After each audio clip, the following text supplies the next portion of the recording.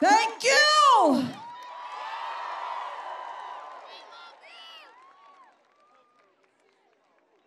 Period.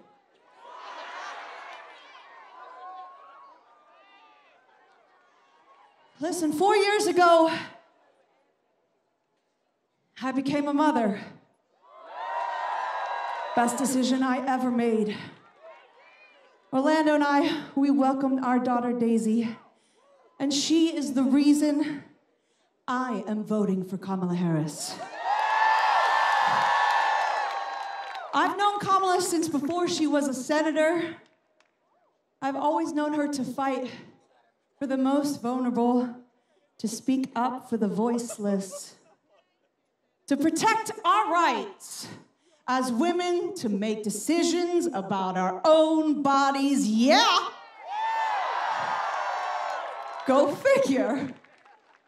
I know she will protect my daughter's future and your children's future and our family's future. So, Pittsburgh, let's make Kamala Harris the next president of the United States. Thank you so much for having me. I am so proud to be here. I'm Katy Perry.